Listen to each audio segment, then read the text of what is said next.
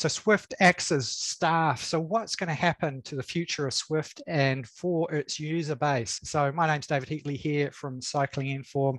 And in this video, I'm going to be talking about my thoughts on Zwift and where I think they're going with all of this. But before I get started, just make sure you subscribe to our YouTube channel and follow me on Facebook. I post new videos all the time on these platforms and you'll get access to that exclusive content when it comes up. And obviously, if you like this video, just click on the thumbs up button. It just helps with the algorithm. And don't forget to click on the subscribe button so that you get notified when we post new videos on Facebook. So let's get into it.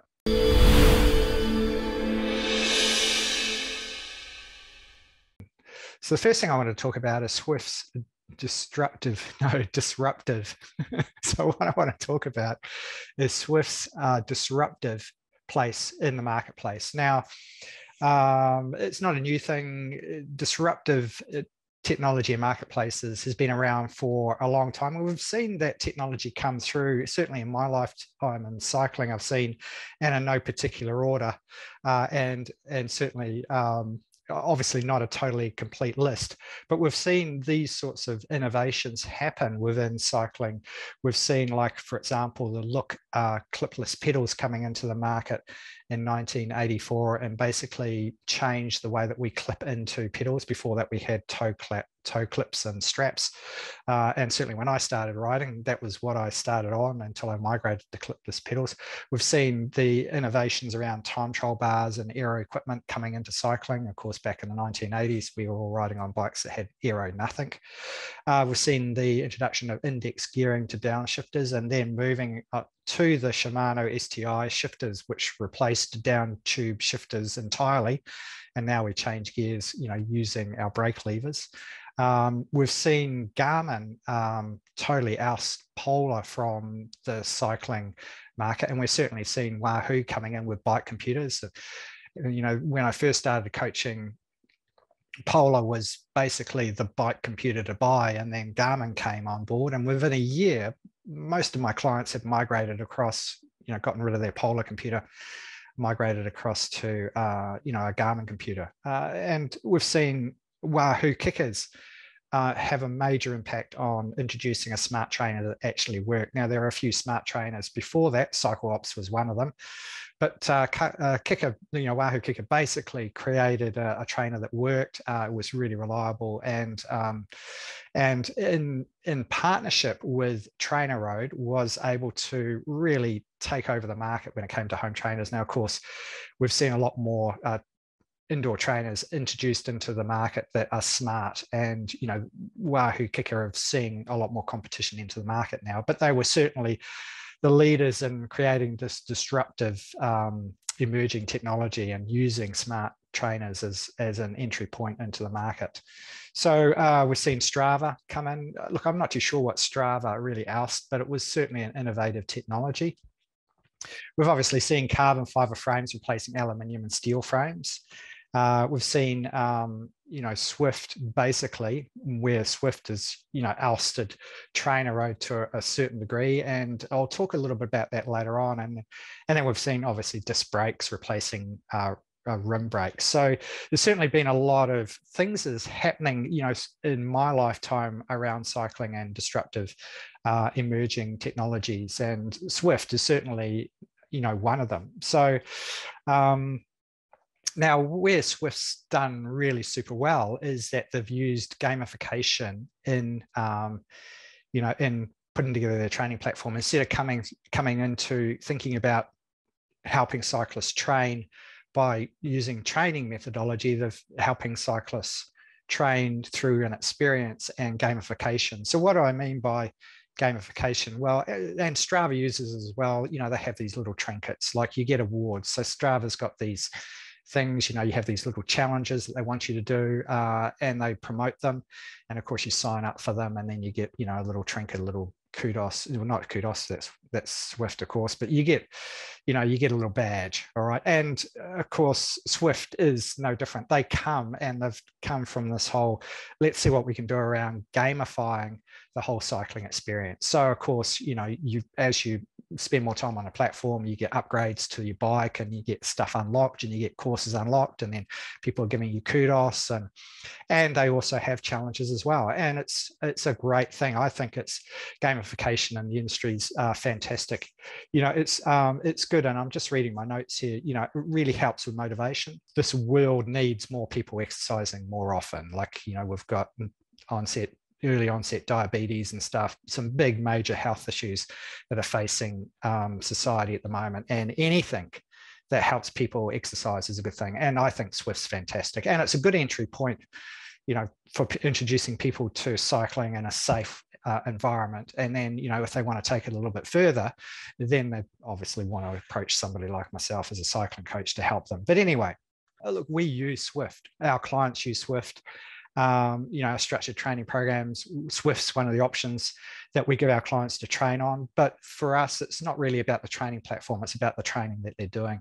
And they can pretty much do the sessions that we're looking for them to do on any platform. It doesn't really matter what platform they're using, it's just whatever preference. You know, if they're using Zwift, that's fantastic. If you're using TrainerRoad, well, that's good as well if they're using you know some of the other platforms like FulGaz we just interface into all of them because like I mentioned, it's not about the it's not about the you know, it's not about the training platform. It's about the actual session. It's not about the experience. It's like we want them to target specific, you know, cadences, specific zones, uh, and you know, specific lengths of intervals to help, you know, work on a particular weakness or improve a particular strength. All right. So um, now, look, I don't have the stats on what sort of um, membership base Zwift has. But I would guarantee that out of the major players that we have in the space, which are like TrainerRoad, Zwift, BKOOL, Wahoo Systems, which was formerly uh, Sufferfest, Rouvy, and Full Gas, Zwift's probably right up there. I think I think they've probably got a huge following. Uh, and more of a following than any other training platforms. And like I say, that's that's a great thing. So um, so let's jump into the cycling. You know, I just was reading the cycling tips report, and I think it's kind of uh, put some interesting points around. You know, how does this? You know, what is the future of Zwift? They're laying off staff.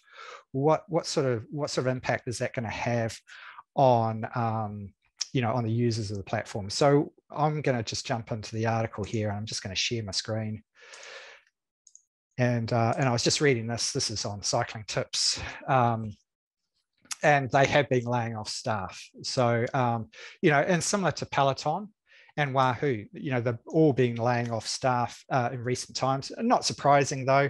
I mean, we've had this massive COVID uh, boom to the industry, and now people are obviously wanting, you know, they're not locked up in their house anymore, uh, and they're able to get out and explore the landscape. So there's going to be, you know, these platforms are going to become a little bit less popular um, just only purely because the market shifted a little bit. And that's fine, like it's natural and normal for that to happen. Um, but, you know, and they've made the decision to lay off staff and halt the development of their hardware, hardware range. And I'll come to that a little bit later on because it's a very interesting point. Now, they released a statement saying that, you know, because of the macro macroeconomics, you know, and the reason for the Halton hardware development program. So it's, you know, with a macro macroeconomic environment. That's what they've called it. You know, uh, hardly surprising with supply chain issues, increased cost, uh, uh, you know, throughout this sector. You know, it's just they were they were basically looking at, um, and I, you know, Zwift for the Zwift platform to grow, they can either continue to gamify what they're doing and develop their platform a little bit more, but there's really not a lot of room. Uh, and so I think the marketing team, and that's this is just my own opinion, is going, well, what sort of other opportunities can we, you know, work through and, and develop? And so they've gone, well, let's look at, you know, the home trainer um, industry and sort of Wahoo's done very well with that. They've created the Wahoo KICKR and then they've created a whole ecosystem around it. They've got, you know, a riser and they've got a fan and they've got a few other devices and stuff. And they've even brought out a specific Wahoo bike, right? Uh, and then they've gotten into the training platform. They've basically bought out Sufferfest and integrated that into their into their um, into their ecosystem. So they not not only provide you know training equipment, but they've also got a training platform that their clients can use as well. So you know they're they're diversifying, and Zwift's obviously seeing that you know like well they're seeing that sort of stuff, and they go well what why don't we create an ecosystem? There's a great opportunity there, and sort of from a competitive point of view, we can step into that. So um, so I think you know from a from a marketing and sort of a business point of view, that's kind of a smart move if you've kind of starting to saturate or you know develop out as much as you can do in your own space. You look at other markets that you can tap into that are aligned with what you're doing, and use that as a stepping stone to you know get more market share in another particular industry. I'm always I'm always um, I'm always a little bit reserved about businesses doing that, going from um, from their core business to something else, you know, uh, because there's always there's always a it may or may not work, and uh, like uh, Wahoo have done super well with it. They've done exceptionally well with it and creating their ecosystems as well. Uh, look, I don't think their training platform will ever be as big as Zwift, but um, but it's just an added thing that they can offer to their clients uh, under the brand. So anyway, uh, you know, good old DC Rainmaker has been involved in this and stuff. And um, so, and like I say here, you know, the last in less than six months, I've teased this new smart trainer and direct drive trainers to customer survey, you know. And it's interesting because it seems that, and they mentioned here that maybe already too late, you know, the, the sense that this past winter in the Northern Hemisphere might have been the last period of high demand for premium trainers for a while as COVID newcomers to indoor training riding upgrade their initial entry level purchases. You know, it's a great article. And I think there's a lot of truth about um, the uh, author of this article. They're basically saying, well, look, I think the ship sailed when it comes to opportunities for people to invest in um, high end uh, indoor uh, trainer, smart indoor trainers. So, you know, and, you know, Zwift's director, uh, Chris Snook, I hope that's the way you pronounce it, basically talked to Cycling Tips and said, we've scaled our business to support a significant expansion. You know, we have scaled our business to support a significant expansion into hardware. The difficult but necessary decision to reduce the size of the business accounts for a loss of projected revenue that ultimately would have been driven by hardware. All right. So Zwift's basically looking for other opportunities to make money. All right. Um, so they're calling it a pause rather than a halt, meaning that, however unlikely it seems, Zwift hasn't ruled out that one day returning to the hardware market. And look, I think, you know, when those opportunities arise and, and it makes economic sense, then they probably will get back into that hardware market again. Um, but you know, uh, who knows how long that's going to, you know, who knows when that's going to happen. All right. So, um, so you also mentioned, and I don't know when this article was written, that um, he pointed out Zwift's subscription numbers are still growing. Okay. And that the pause in hardware development means an increased focus on the core Zwift software experience. All right. So, you know, it's always important to protect your existing markets. And I, I think Zwift's doing, you know, the right thing. So, um, so where do I think everybody's going with this? I think I think from a from a user point of view, obviously we're not going to see any smart trainers coming out from Zwift in the near future. That's that kind of nails being driven into the coffin around that. We're just not going to see that in the near future. It sounds like it may be on the cards of the future, and I think that uh, Zwift will look at other avenues to generate um, other markets. And I think that obviously a smart trainer or getting into hardware is a great move for them. Who knows what other things they may dream up to get into. But from a, a point of view, you know, I think Zwift's pretty safe. I think from a user point of view, they're obviously not going to go bust. They've got a fantastic following and it's a subscription based service, which is always awesome when it comes to businesses because you can, it's bankable money. That money is just coming in all the time. Uh, you're not getting, you know, as a business, they're not having to go out and hunt for more you know, for business every every single month. They've basically got a stream of income coming in that they can use to basically invest in other technologies and, and other interests within their business. So, so I don't think Zwift's going to go away. The other thing is, what about competitors entering the market? And we've seen other competitors, and obviously they've got their own little different angles around how they're sort of working within the market and their sort of market niche. Uh, depending on the, the platform that you're using. Look, I think, you know, from a competitive point of view, personally, I think it's going to be reasonably um, and but not impossible for another company to come in and do the similar sort of thing as what Zwift's doing around the gamification of cycling. Whether a business would actually want to do that, because Zwift has such um, such a hold on that market, and they've invested a lot of money into it to develop it. Um, I don't think, I think most businesses would look at that and go, well, Zwift's kind of really cornered this market. We could, if we invested a stack load of money into it, maybe compete with them.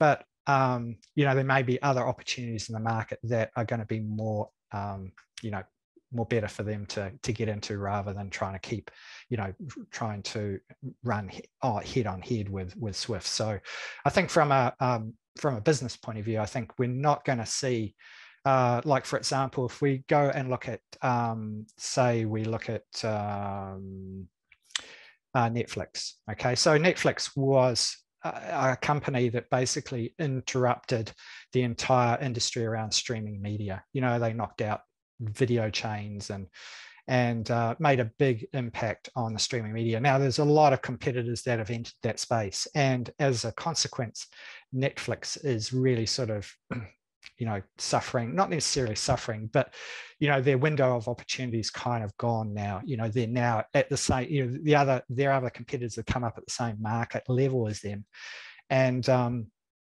and as a consequence you know it's becoming more of a leveling level playing field and it's more about content than it is about the technology so you know um, and uh, as a consequence i mean netflix being pretty good at basically providing really good content but their competitors are becoming really good at that as well. I don't think we're going to see that personally uh, with Zwift. I don't think we're going to see competitors rise to that sort of level as Zwift is. Um, I probably what I do see happening in, in this space is I think there's going to be a lot more sort of uh, AI, artificial intelligence being applied to the uh, analytics um, and um, and that's a space where I think there's certainly a lot of room for growth in in you know the next developments that we're going to see around you know innovation and in cycling and metrics and training. So anyway look uh, i hope you've enjoyed this video and it's been interesting and i haven't waffled on for too long. Um, you know definitely comment below with your thoughts on what i've talked about and whether you think Zwift is going to be around for a while or whether it's just going to die. Um, look, I don't think it is, but you know, it'd be interesting to hear your comments. And look, make sure you subscribe to our YouTube channel and follow me on Facebook. You know, like I mentioned, we do post new videos all the time, and I do share exclusive content that isn't published anywhere else on these platforms, and we're going to be doing a lot more of that. And if you'd like this video, please give us a thumbs up, and don't forget to click on the notification bell um, to make sure that you get notified notified notified when we upload uh, new videos. So anyway, thanks for watching. It's been David Heatley here from Cycling Inform.